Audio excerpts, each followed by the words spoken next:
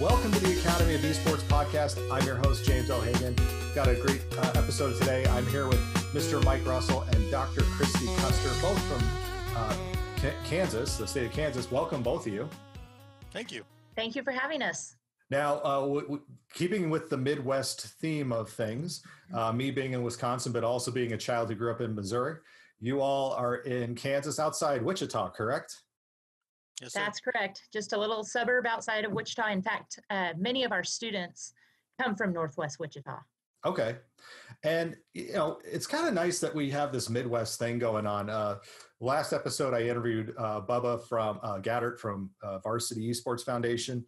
And I know that a lot of people seem to think that Santa Monica and Los Angeles or, um, you know, Japan or South Korea, these are hubs of, of gaming in the esports world. And what I've been finding as I do more and more work around esports, especially in education, there is a tremendous upswell of of efforts in the Midwest, and and you all are kind of leading an early uh, iteration of that. So we are Complete High School Maize. Complete and, High School Maize. Sorry, yep. thank you. And we are the alternative school for our district. So our regular high school has about 1,200 kids. Actually, we have two high schools in our district. One of them has about 1,200 kids. The other one has about a thousand, and they both feed into Complete High School. And we'll have around 100 or so kids per year, and they graduate all through the year. Okay, so you're running an alternative ed program. So uh, a lot of credit recoveries, uh, students who I guess you did say don't fit. Uh, as as I say in my program, uh, I also am part of an alternative learning program. Our virtual learning program has alternative overtones to it. I call it the land of misfit toys. Sometimes just the kids who just did not fit into the traditional school and just need alternative means. How has esports been? I guess um, uh, taken t- how have they taken to esports over the years? Well, I always like to say uh, because I'm not a gamer, but I've been in uh, here at, here at Complete High School for 20 years and in education for 25 years. And in those 25 years, I've never seen anything attract kids and engage kids like I have uh, video games and esports. And Mike, what's what's your experience uh, working in alternative ed and working with the children that you're you're servicing? Well, we uh, so this is uh, the first, uh, I guess you could say, after school program that our school's ever had, uh, the esports program. So uh, we've uh, we see about 82% of our kids who were never in any club before make up our team now. So those kids were never really engaged in school. So mm-hmm. we're finding esports is a good good way to get them engaged, and then once they're engaged and can kind of figure out that they are good at something or can achieve some goals, then they start to set more goals and become more successful. So, but of course, it's been really great. You didn't just drop this program in. It looking in, into the backgrounds of the both of you and looking at and reviewing some of the uh, curriculum, the esports curriculum that you both have developed uh, with HSEL, and and I think Microsoft helped as well too with that effort. Yes. Um, how did you get to this point? So, Kristy, let's start with you, Dr. Custer. Let's start with you first. um, you're not a typical gamer, as you said. How have you come to this point where you are one of the an, an administrator who, at an early stage, saw this and went, "Yes, this is what I need for my student population." At the time, because this is a mom story, and so at the time, it was one of those horrible mom moments, but I'm so glad it happened because uh, first of all, it, it, was a catalyst to getting me me involved and me going, and then second of all, it makes a great story.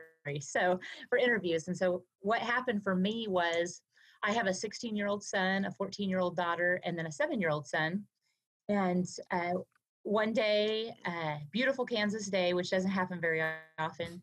My son had been uh, down in the basement playing video games for I like to say five hours or 10 hours or 50 hours. I have no idea. Mm. And he makes fun of me. I, I go crashing down into the basement and, you know, in my mom tone of voice, I'm like, Christian, get off the video games. It's a beautiful day outside. You're wasting your life away on these video games. And uh, he's a good kid. And he looked up at me with those uh, kid, you know, baby boy eyes and he was like mom if i had been playing my tuba for three hours or reading for five hours or playing basketball for five hours would you be mad at me And he said, This is what me and my friends like to do. And this is what we like to do together. And it was at that moment where I really went, you know, I'm not belittling video games, I'm belittling my child. And I had to reconcile that in my mind. And I said, I, I have to do something to make this okay with not just me, but with moms everywhere, that this is more than just sitting in in the basement wasting the day away. Mm-hmm. And and it is it is something that I've talked about in the past too, and we, especially when we talk about intrinsic and extrinsic motivations. Mm-hmm. Uh, for for kids, school a lot of times is an extrinsic motivation. Those of us who work in alternative education know this especially because a lot of the times we have students who were pushed and pushed and pushed to attend school to the point where they decided this is not the place for me. And when you find something that it is an intrinsic motivation, that is intrinsically motivating for a child, it is it is very difficult as you said in the case of your son for them to hear oh that thing you're doing it's a waste of time. Oh that thing you're doing it's it's a terrible thing to do. But it's something that they love doing and if you can if you can harness that intrinsic motivation that you were talking about for your son to play these games um, it it can make all the world a difference can't it? Absolutely. Um, and it was so stupid because i i've been in this world for years and years and i just I don't know what the difference was between the two. And, and I think it's because I don't understand that world. And I think that's what happened with a lot of parents. And then I couldn't attach any value to it. Like I could attach value to, to him playing his tuba mm-hmm. because that's a class in school. And I could attach value to him, uh, you know, playing basketball because that's something they do in school. And so that's really where that came from is if we can attach this to something with school, then I think we can make this work. And, and you know, that's really where Mike came in. So that's a perfect transition to Mike. So, Mike, you were not an educator by trade to start off your career. You were in business before all this. Uh, give us a little background into how you arrived in, in Kansas at, at the complete high school and, and how you kind of gripped into uh, esports and esports culture.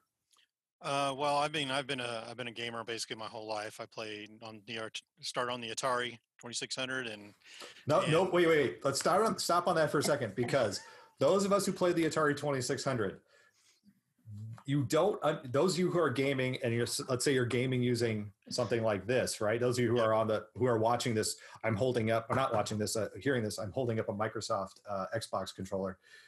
Those of you who have never gamed on a 2600 do not know the hand cramp that you can get from holding on to a 2600 controller. It is it requires a clawed fist almost to hold into play. And and so sorry, I didn't mean to interrupt, but when you say the 2600, it's like there's a hand that you would have to develop, a strength that you would have yes. to develop in order and to play it. Very strong, you can see right here. So, yeah. Um, yes, uh, absolutely. And so I've been playing that. Luckily, my parents were were supportive of me uh, playing video games. Um, but growing up in that time, society wasn't as a rule. I mean, my grandparents and and general, uh, you know, your eyes are gonna you're gonna have terrible eyes, you're gonna have terrible vision, you're gonna you know you're not gonna really do anything with your life. So I, I heard it all. So um, fast forward to 2011, uh, I went to uh, my buddy and I from high school had played World of Warcraft for several years, and we heard about uh, BlizzCon, obviously, and we decided to go to BlizzCon that year, 2011. And this is before I was a teacher.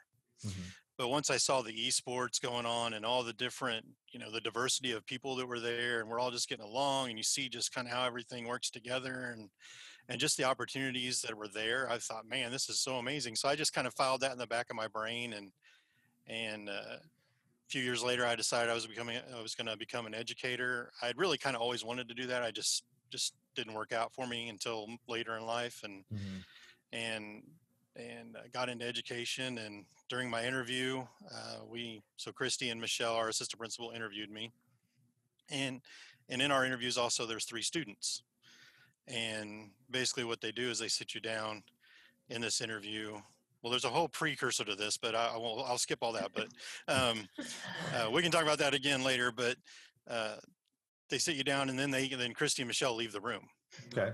So they leave you there with the students and seems, they're basically perfectly like, normal to me. Yeah. So then you know they're basically just trying to see if you're, you know, if you can talk, have a conversation, you know, how things go, and I'm, you know, very fortunate that they liked video games and so did I. So we had a common denominator immediately. So they were super stoked about me being a gamer. We talked about StarCraft 2 and, and some other things. And, and fortunately, I got the job at Complete High School. It was a three hour interview. Um, my wife called me a couple of times to make sure I was okay and, and got the job. And then, uh, you know, very shortly after that, Kristy and I began to talk about, you know, she was very supportive from the beginning of me getting the lab going and trying to get a program going. And she was just basically like, figure it out and, and get it done. And so I started to write some grants and didn't get any the first year, but got several the second year and got our lab going. Well, what year? What year did you get this started? Um, so we actually, so I, August of 2016 is when the program actually started. Okay. So, um, so we start, it, oh, there wasn't a whole lot of blueprints back then. There wasn't a whole lot of people. And I think you and I were probably some of the you know people. But again, those of us who who didn't have any blueprints, we were guessing. There was a lot of guessing going on. What uh, I guess let I, I want to kind of dive into this right at this second, just because I think it's important. If starting over now, would there be things you would have done differently? I'll answer part of this. Sure. Uh, what I would have done differently, and it's just because of the lens that I look at, at everything through. I think that that what happens sometimes in this arena is that uh, we do teacher passion projects is really what this is and so i ask teachers when they come on board you know what what are you passionate about because mm-hmm. sometimes i think they that we focus so much on kids and what kids are passionate about, which I think is very important. But if you get a teacher passionate about something, those kids will be on board because they love the teacher. Mm-hmm. And so when I asked Mike what his passion project was, he, you know, was almost shy about it and embarrassed about it. And he said, I love video games. And so, you know, there there was that connection that I've been looking for. But the lens that that typically happens with something like this and i think james it happened with you also you love video games and so mm-hmm. the lens that you're looking at this from at least in the beginning was video games as the center. Yep. And for me i don't really like video games and so i was i was looking at or i should have from the very beginning i should have looked at curriculum from the very beginning. And we were lucky enough that mike had the curriculum right here. Like he had enough uh, experience and background in this that he could, you know, off the cuff, what are the kids wanting wanting to do, and then he could teach them how to do it and teach them how to do it better. But I would have probably uh, inserted the curriculum lens from the beginning had I mm-hmm. known what was going to happen. I think that uh, in, I'm, I'm, I think I'm reaching my e- esports edu 3.0 moments here.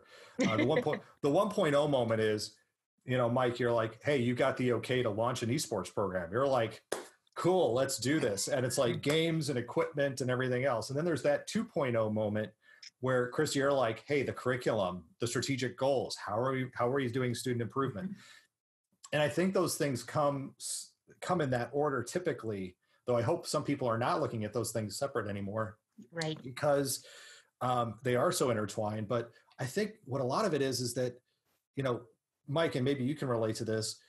We've been looking for the okay to have video games in school for so long. We know that they're fun. We know that they're enjoyable. We know that they're socially building. I mean, Mike, you talked about going to BlizzCon and that whole community, that supportive community around World of Warcraft. And I know those World of Warcraft people, and they're, I won't call it cultish, but I'll say that it's definitely you people.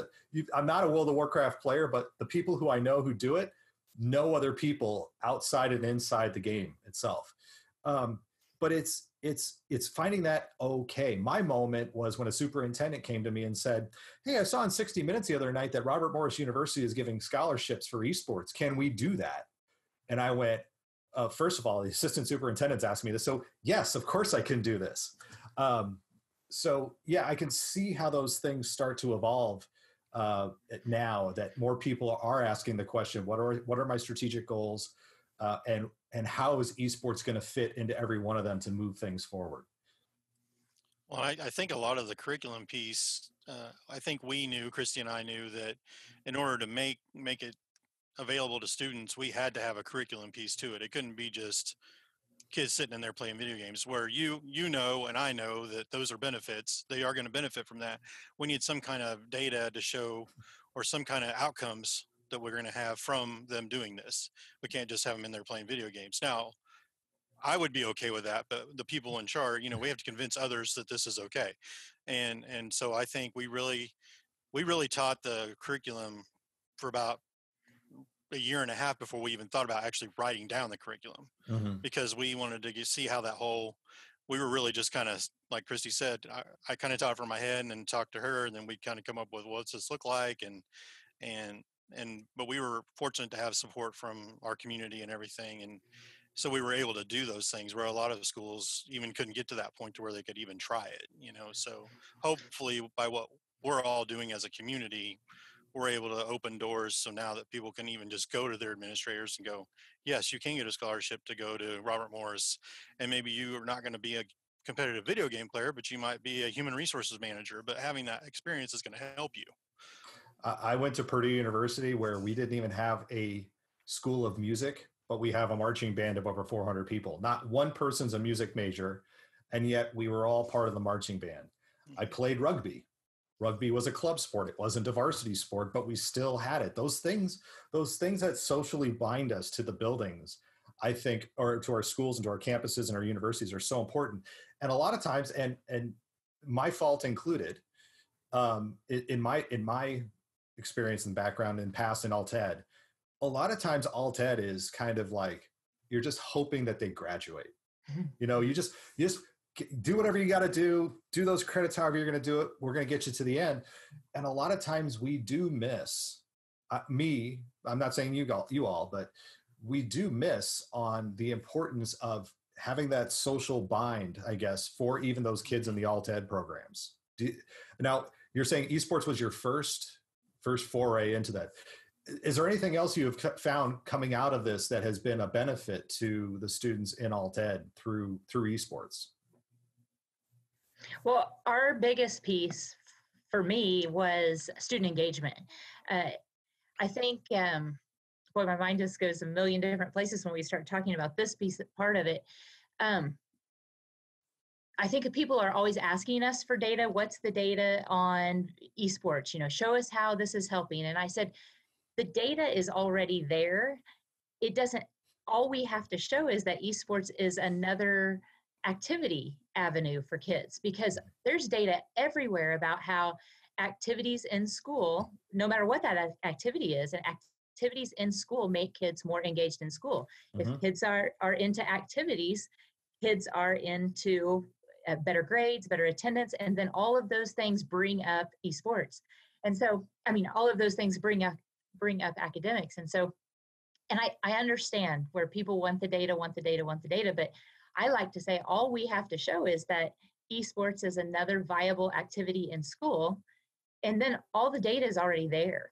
Mm. And so, because uh, esports brings kids to school, and that's why I like to have it in school, like actually part of the academic day, because a lot of our kids have transportation issues or they don't have you know a way to get here after school or they have to have jobs after school i love to have it in the school day because it's getting students here and they might come to school for that one hour a day, but they stay at school for the other seven hours a day. And, and I've seen this too. And Mike and, and Kristy, you can maybe speak to this is, you know, a lot of times too, it's not just having the academic improvement or the attendance improvement, but building those, those connections to kids, um, especially those in alt ed, because a lot of times those kids in alt ed never had a good connection to a teacher growing up or before they got to you. There was not that one teacher who said, you know, I want to know more about you. I want to develop that relationship with you to to to have that better adult uh, student relationship.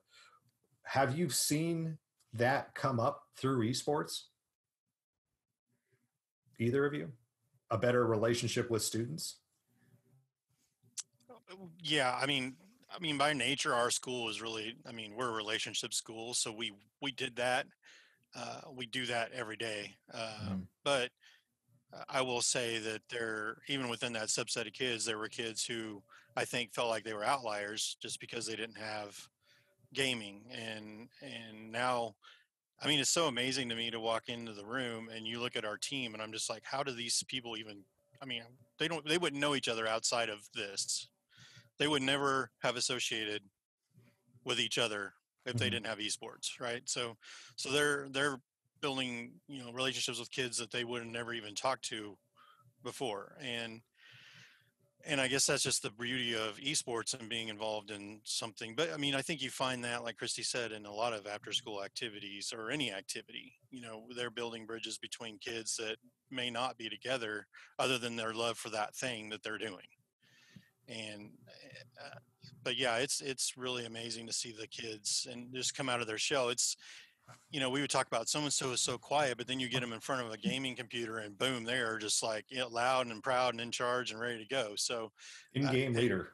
oh yeah, absolutely, absolutely, and and there are there are definitely kids that you would never think had any leadership in them at all until they get in there, and then they're they're really in charge and they love to to share strategies and go over things. And I mean, it's it's amazing. It's really awesome to see. And for the first time in their life, they're finding something in school that they're good at or they're successful at. Uh, the self confidence, this is now part of school. And look, I'm good at school. And you know, before, you know, just like me and my son, I I had told him over and over, get off video games, get off video games. They're stupid. They're worthless. They're, you know, and now he, I mean, he just it blows his mind, you know, that I'm the esports girl now, and it's hard. for and it for the kid like kristy said to find success i mean we'll introduce a new game into the lab sometimes just something out of the blue and the kids will be like i can't do this i can't do this i can't do this and then two weeks later they're like i did this i did this and now i'm doing this and i'm doing this so uh, you know once i once i think someone shows that they can be successful or have success at something they want to achieve more success i think it's it gives them the the the gumption to go out and get it and do and do better. And and I think so many of our kids have never felt success or didn't know it was successful because nobody either nobody told them or they never really had had tried. And and, I think this allows them to do that. I mean, we give them the chance to, and Kristy talks more about perseverance. She tells the story much better than I do, but uh, you know, give them a chance to fail, and and that's okay. We all learn from failure. I learned a lot more from failure than I have success. So And is and I I understand it. You compete in the high school esports league, but what I'm also hearing is that there's a casual game experience as well too as part of your program. Is that is that is that right? What I'm hearing? Yeah, so we um, the I would say the class is more the casual is kind of where anybody should sign up and and I love it when the new kids sign up because the kids who have never gamed we have a lot of kids you know I mean 95% of them have played a video game in some fashion but only about half of them have ever played on a PC Mm. and so that whole PC dynamic's a little bit different for them because that's that's all we have in the lab. But it gives the kids who are experienced on PC a lot of mentoring opportunities, and they're they're very eager to help and show kids, uh, you know, that are new to it and how to move and do all those things and and the strategies in the games. But uh, it is it is really cool to see that. Um, oh God, I lost my train of thought. Sorry, go Kristy. While- you're jumping in, uh, I'll just jump in on on that casual piece. Also, uh, schools are wh- when Mike talked about perseverance. What happened with that is the the commissioner of education. He uh, we have a big redesign program going on in the state of Kansas, as with most most states are trying to you know bring education along to the 21st century. And so he uh, surveyed business people um, Mhm. throughout the state and what kept popping up was he, he made a graphic of all the traits that business people were looking for. And biggest in there was perseverance. And along the way, there were things like, you know, uh, are you on time for work? And, and, uh, just, you know, all of those soft skills that you typically see. And, you know, as educators, we all looked up at this big graphic and there was no math and social studies and science. You know, there none of that was really in there because business people obviously you have to have those skills you have to be able to read but you know especially at the high school level what we're teaching you know kids are graduating and they're quitters and so we had to really reevaluate Wait, that's a that's a really interesting statement. No, no, and you're talking about that from the traditional high school Mhm. perspective, right? Yeah. Not the alt ed, because I would say the alt ed kids, absolutely you have to have that perseverance in order to complete an alt ed program because that is that is dragged kicking and screaming sometimes over to the finish line. But you know, we know a lot of kids too who just don't finish, and a lot of it just has to do with that getting up and coming every day and being part of something every day. Am I right? Absolutely. Yeah, Absolutely. definitely. But when we really started looking, then, you know, where do we teach perseverance in schools? And a lot of it comes from activities, but schools are not set up for kids to fail because what happens if you take a risk? Let's say I take a class that might be a little above me. What happens to my grade point average? You know, Sure. or if I if I take a test and I fail it, you know, there's typically a reduction of your grade um, even if you retake it and do well, a lot of people, you know, well, you you can't. It's You don't give them full credit; you give them half credit or whatever it is. Right, and so it's schools aren't just they're not set up for failure. They are set up for you learn it, you pass it, you move on. And what Mhm. we're finding with esports is like Mike said, kids get in there and they they are eliminated because we don't say die. They are eliminated, eliminated, eliminated. They fail, they fail, they fail.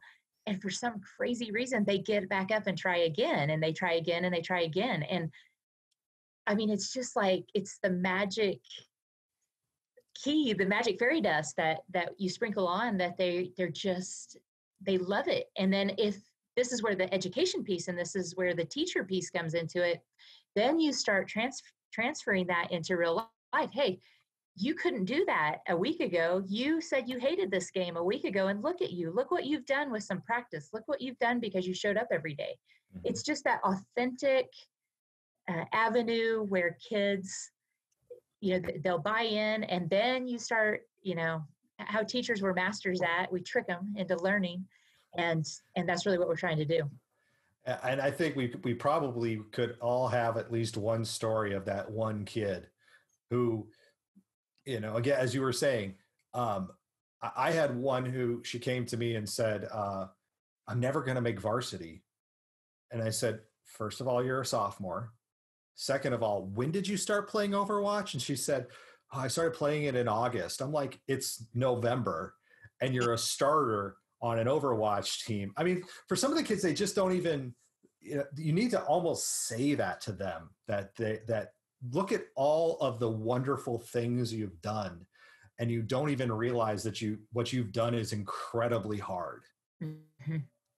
Well, that's So- another good point that you, I mean, talking about, you know, being, going from starting in August to being on the team in November. I mean, that's, that's the beauty of esports. I mean, that's one of the beauties of it is it's, if kids put the time in and they're, and they have mentoring, you know, people there to help them, they can be good really fast. I mean, they can Mhm. get caught up to, to the meta and everything. Uh, really quickly if if you work with them and and that's one of the other beauties that we're finding is kids aren't scared to try out because they haven't been playing football since they were five years old. They can't make the high school team now because they just can't. Mhm. And and and we have this to where it's open and people, you know, we've had kids who've never touched it and then make the team. I mean, like you said, it's that's a one of the beautiful things right now of of esports. Well, let's get into how you've kind of put together the official program. So you've got your course, um, and as, as Dr. Custer, as you were saying, Mike had it all up here in his head, and then you all decided to start writing it down. What made you finally go and say and sit down and go? You know what? We had better write this down. Well, that's kind of a funny story too. This is funny. this is a good story. All right, I love a story. Mhm. So uh, we started having conversations so it started to get around that complete here's what we're doing and that we're doing this during school and we actually got this approved um, as a four credit class. It, wa- it was for a business credit and so you know how i mean the education community is so small and so that really started to get around and um, people started asking how do we get this into our schools? and the high school esports league a lot of people uh, would call them and say hey we hear there's this school that you uh, that plays with you guys you know where can we get their curriculum? And and so we would be on meetings just like this and they kept asking you know why how can we do this with other schools? And and we kept saying you know finally we narrowed it down and and i said you have to have a mic. To be able to do this you have to have a mic A Mike And- Russell, not a, a mic- microphone. So, Not yeah. this kind of mic, yeah. yes yes yes you have to have a mike russell and um, well obviously not every school has that and they're like well we can't do that so what else and we said, well, then you have to have a textbook because that's what teachers do. We we teach from textbooks, and and uh, I said, especially, you know, this won't always be like that, but right now, teachers look like me. Eighty percent of high school teachers look like me. They're middle aged women, mm-hmm. and so that doesn't bode well either for esports right now. Uh, so they were like, well, where can we get this textbook? And Mike and I laughed and said, exactly, because we looked everywhere for a textbook. And there just, there was none. And I mean, we were even looking in other countries and talking to people from other countries. And so one day, this was in October, one day I, I just got tired of hearing about it. And I looked at Mike and we were sitting side by side in a meeting just like this. And I looked at Mike and I go, look, we'll write one. And Mike his eyes are like, kind like this. we will. Hmm. and so, really, um, and that's not for the faint of heart. No, no, no, no. I, I mean, to put it in perspective, I sat with a group of high school social studies teachers once, and this is, a, and we were talking about open educational resources, and I said, you know, why should we go buy a textbook when we could just put the textbook together ourselves? And swear to God, and I don't want to, I'm not going to give away the name or the school district, but the teacher looked at me and said, I don't feel I'm qualified to write a textbook.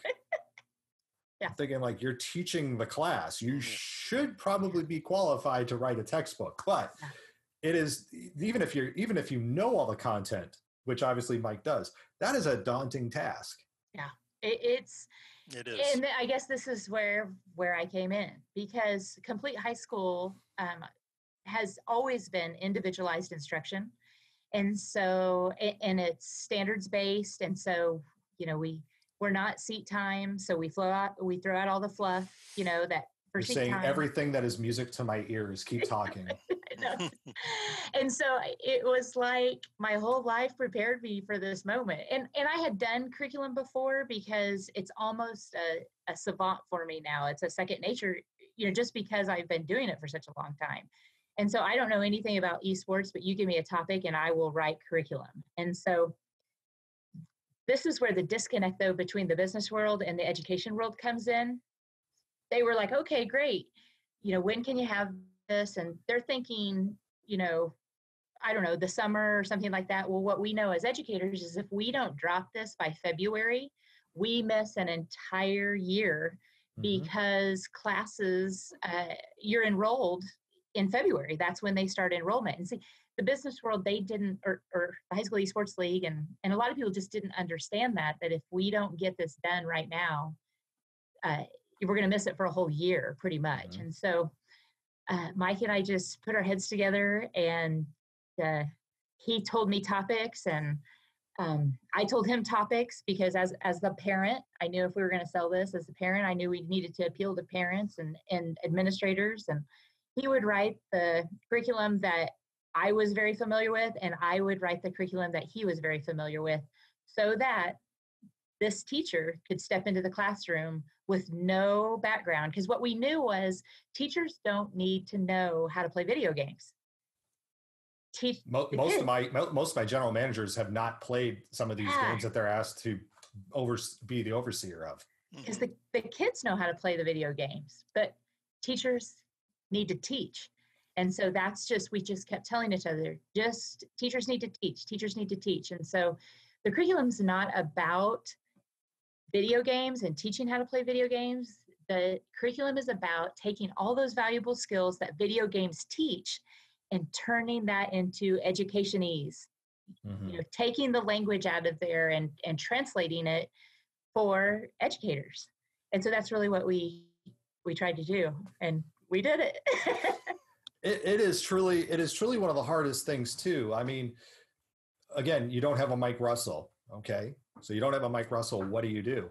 And for some educators, because we are so used to being the content experts in the room or used to being the sage on the stage, and uh, as much as say whatever you will about how you think teaching should be, there's nothing that makes a teacher more uneasy than going into a class to teach something they know very little about.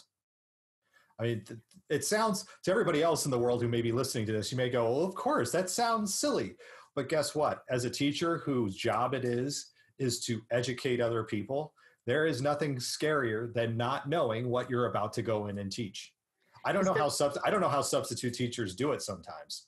Because those kids will read right through you and they will Mhm. eat you alive in a classroom.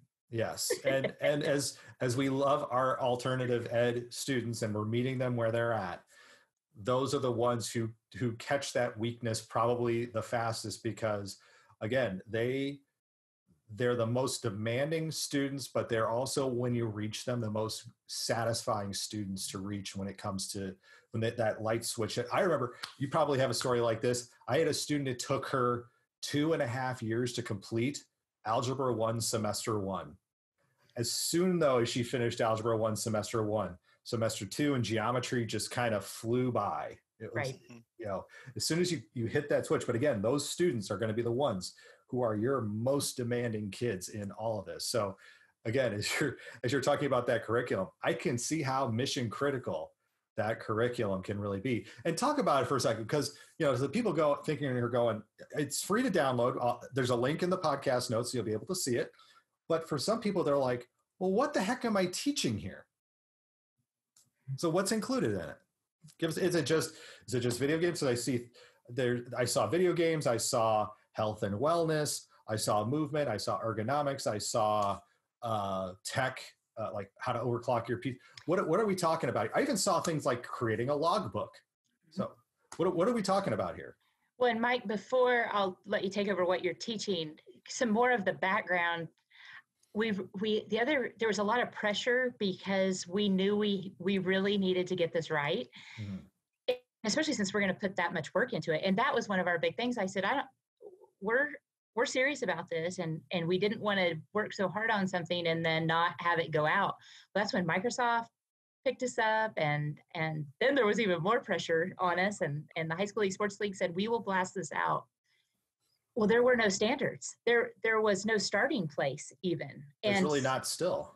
Well and we we'd even looked at the ISTE standards but the ISTE standards fo- which they're wonderful but the ISTE standards focused more on mike give me the words the like oh, the correct, correct collaboration communication Yeah. creativity. Well and really like the, the coding- technical stuff the There more you go. technical side of things not the soft skills that Mhm. and and uh, and the career and career development and social emotional learning and stuff like that the ISTE standards are all about can you code can you do all these other things with the technology we're using the technology to do something else Right. And so what we what our ultimate goal then and this is what I think really helped us is we saw a new pathway. There is a new curricular pathway um, and and just for your listeners that aren't familiar with that so there will be like a if you want to be a teacher in high school you can take a pathway that will lead you into teaching and if you want to be an engineer there's a pathway that would lead you to engineering and if you want to be in the in the uh, food service industry uh, there's a pathway. We believe there's a pathway here and so we didn't just want to write curriculum that could be sprinkled into english or math or science or social studies because as a former english teacher i got enough crap to teach Mm. you know and so we wanted something all by itself so that eventually this gets picked up as there is a pathway that leads to esports and you know we were a little bit vindicated because now there's all these colleges with these esports uh, degrees so it's I'm moving in the right direction I'm very. Let's talk about that for a second because I'm. I, I I feel like where a lot of us are as esports 1.0 or esports 2.0, I think the colleges still haven't realized just how powerful of a teaching opportunity this is using esports as a vehicle. Um, I look at Ohio State's program. I look at Staffordshire University, or even to to a, a lesser extent, some of the other schools that just say, "Oh, we're going to have a certification," and and I just go, like for example, I've been having uh, conversations with my own alma mater, Purdue University, and talking to them about you have this amazing engineering program. Do you realize just how important those clicks are, those nanosecond clicks, and the patent rights? If you create something that is that eliminates a lot of that that that those nanoseconds and milliseconds of clicks the patents that could come out of that and of course there's going to be kids who are going to obsess over developing you know that mouse uh, you can't see the, the mouse that is that reduces those those clicks you know whatever you create universities i think haven't realized just how big of a of a of a because again taking those intrinsic motivations kids love to play these games kids love to be part of it and and hooking them in that way and saying now let's apply physics and science and everything else they haven't just gosh they just haven't gone below that surface yet. Have you seen below have you guys seen below the surface you know again using esports as the vehicle and then the kid who a story of maybe a kid who just takes it and goes oh i'm applying this now into other things well i think well, that go ahead mike I, I would say, speaking of Kansas, I mean, I would say there's a couple, you know, I think the people who have started these companies have done that. I mean, mm-hmm. as a college, they didn't have that support, but uh, I, I, mean, there Ramsey Jamul owns Midwest Esports, and then the guys that own HSEL, you know, Macy and Charlie and AJ. I mean, they took esports and they made it into something and mm-hmm. and i think where colleges i think the main focus for colleges right now is one recruitment it's a great recruiting tool to get sure. more students in but there are the programs that we've seen that i've seen anyway are mostly focused on the esports management side of things so they're they're kind of doing like a sports management with an esports endorsement basically on there so but yeah there's so many opportunities uh, like shoutcasting and then uh, you know video production and all the other things that go into esports i mean so much of, and I can only speak to BlizzCon, but so much of BlizzCon is not esports. It's all the other stuff, right? It's the people who direct the shows and run all the different stages, and and so I think I think they're they're they need to get their esports programs to where those funnel in or they use those other programs to create positions out of that so it's it's it might be a human resources job with an emphasis on esports you know working in an esports company or something like that. But we're not really seeing that yet, kind of to your point. So um, I've really just seen the esports management, and there's not too many schools that I even think have really gotten that far yet. So. What I think part of the issue might be too is when you think of your department heads at your colleges, are they gamers? Do the, no. It's no. very difficult to understand this world unless you live in this world. And, and most academics don't live in this world. And this will speak to the salesman that Mike is. Uh, he tricked me because he's a good, great teacher. And he said, Hey, do you want to go to BlizzCon? And I'm like, you know, I'm trying to be supportive of my teachers. What's BlizzCon? And he how, said, How did that go for you? Well, he said, it, It's out in, I said, Where's it at? And he said, It's in Anaheim, California. Right there. Uh huh. And here's the mom that's where Disneyland is. So I can take my kids out there and I'll please the teacher, and my son can go to this BlizzCon thing and I'll pop in and look at it. I walked into that place and all of a sudden I completely understood how this is a pathway. I mean, that's really when my mind went, this is not about gamers and game developers, which as a someone outside of the industry, in my mind, when you say esports, you think gamers and and game developers. We first of all i stood in line with 10,000 people. What in the world? Who sold all these tickets? But i walked in and i stood in line for merchandise and then spent $100 on merchandise this is not about this is about a culture this is about community i mean this is a whole thing and colleges haven't yet college academics college uh, I guess the people in charge, they just haven't seen far enough down the lane to see where this is going. I feel I feel that um, because I went to TwitchCon back in October. So like BlizzCon in a lot of ways, but a little different. Standing in line with again ten thousand people. But here's the amazing thing about that: it's ten thousand people all trying to develop their own personal brand. It's like it's almost like a branding convention more than hey here's twitch and here's how you use it no it was like here's here's all these people who just feel like they want to be individuals and tell their story and sell themselves and put themselves out there and i know blizzcon between the the gameplay the community and the it's these are things that gosh you know in schools we hope kids are part of a positive community we want kids to find others who are like them in this world who share passions and love and we want kids to share their passions and love with us i mean there's always you know there's always that cheesy 80s 90s mo- movie where it's like, oh, the troubled kid from the other side of the tracks. Then you find out, oh, well, he's really an amazing gamer, or he's in an amazing rock band, or or she has this, you know, this really interesting trait about her that nobody ever knew about. This is this to me has opened up worlds for kids who just have now this this amazing opportunity to share passions and loves of things that they have that they thought they had to keep to themselves. That they mm-hmm. and and now they get to share them with adults. There's nothing i've seen more excited Yeah. than a group of seniors who i said would you be interested in teaching senior citizens how to play overwatch oh my gosh they just like leapt out of their chairs at me they're like yes we would love to teach senior citizens how to play overwatch they want to share this culture it's amazing um, Yeah, absolutely. so, to, as we get close to the end here, I, I have one final big question um, related to the curriculum itself.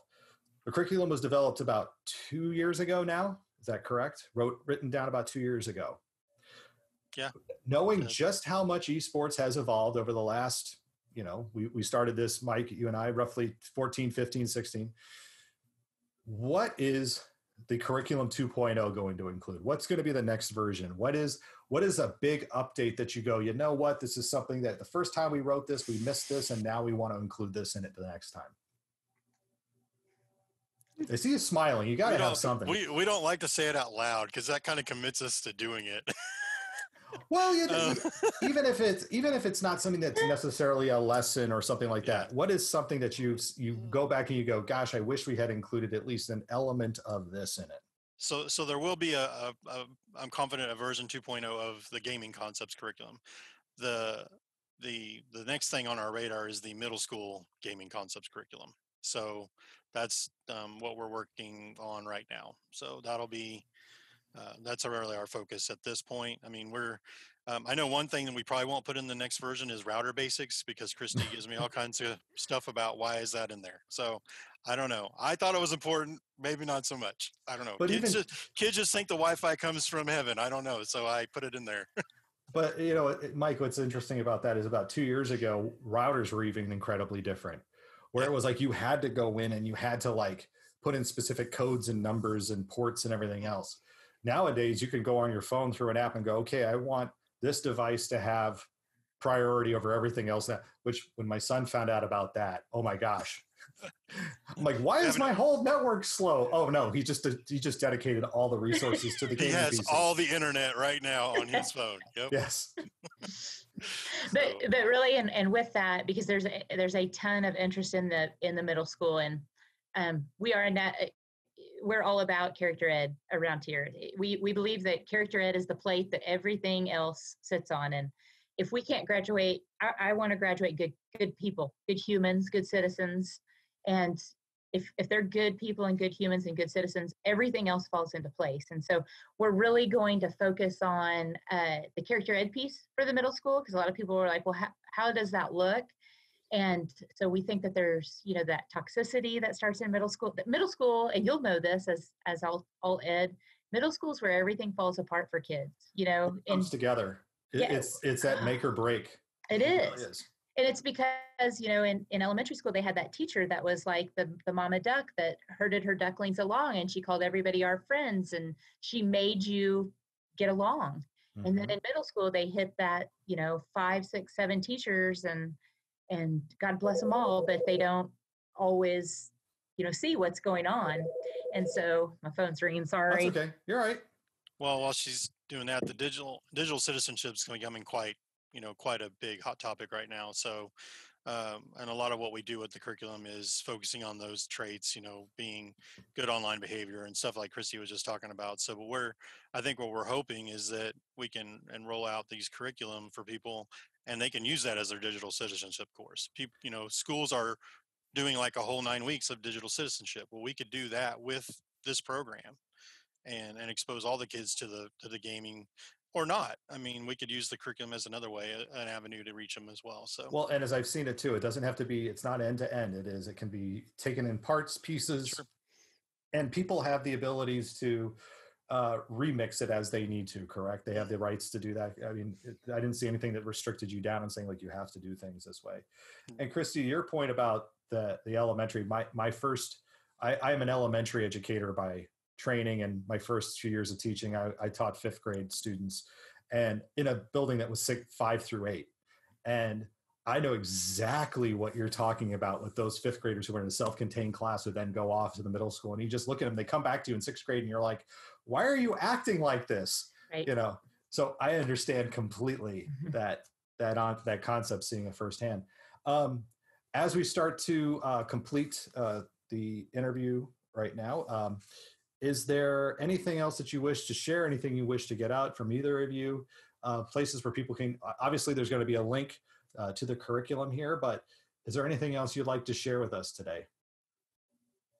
My big share that people are often shocked about is uh, typically when we get to the end, because we kind of forget, uh, it's zero dollars for you to have this curriculum in your school. And so that makes people happy. And, and that really came from, you know, where we came from. Uh, there's no reason that Complete High School Maize should be as successful as, as it's been. And we didn't want this to be something where um, there was haves and have nots, that you could afford it a- and you came from a school that could afford it because because we were the have nots for a long time. And so we really want everybody just to have the opportunity to have it. And mike and i are are always available. I i had neglected one of our sites where teachers asked for help and we had a hundred emails Oh, on geez. that. I know. Oops. so people are really looking at it right now. And so uh, if anybody needs help the community is so wonderful that um, you know i think you reach out to any gamer or, or curriculum person and they're going to help you with it and, and Mike, do you have anything else you wish to share? Uh, yeah, I mean, I would like to. I mean, obviously, thank you for having us on. This has been great, and um, uh, I'd like to thank you know the Varsity Esports Foundation. If people are looking to get, if they are having trouble getting a program started, and and maybe need some help with funding or something, please reach out to Bubba over there. Um, they're great people to work with. If if you're fortunate enough to have some money laying around right now and you want to donate to the Varsity Esports Foundation, please do that also. Um, uh, they they use that money and they use they use it for good. So, um, and of course, I like to thank uh, guys at HSEL. They've been really great to us, and Microsoft for helping us. And and I would also encourage um, educators out there to go get the badge if you're into that the Microsoft educator community. If you're into getting those badges and those points, go on there and take mine. the course. Yeah, go out there and take the course, and and uh, that you know just help to spread the word. The curriculum's also available on there uh, if you want to grab it from there also. So yeah. I, I have I have been becoming more and more appreciative of the HSEL group as I, you know I'm always one who looked at things from a side eye you know especially with esports as people are rushing into this you almost have to like go who is this really and what are they trying to do? What is their angle? But HSEL people have been around for a long time. Um, they are a for-profit company but I still feel like they have they will work with you when it comes to hey we're having difficulties coming up with funding or anything like that. And and again they're a community of gamers by gamers and and uh, again they work in close concert with Varsity Esports Foundation so even if you are having issues uh, of getting uh, computers or anything like that they they will help out so yeah so Mike Russell and Dr. Kristy Custer thank you so much for being on the Academy of Esports podcast today thank, Thank you, you. for having us appreciate it. That will do it for this week on the Academy of Esports. I've been your host, James O'Hagan. Esports are organized competitive video games allowing schools to redefine their athletic culture, diversify opportunities for student participation, promote good physical and mental health, increase collegiate scholarship pathways, and play games. We can never forget the importance of play. The mission of the Academy of Esports is to support these ideals. The vision of the Academy of Esports is for all students to experience the fun and joy of playing competitive video games. You may follow me on Twitter at Jim O'Hagan. That's at J I M O H A G A N, and through the Academy of Esports account at TAO Esports.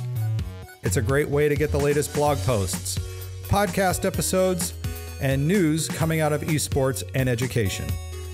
And remember, you can continue your engagement by going to www.taoesports.com.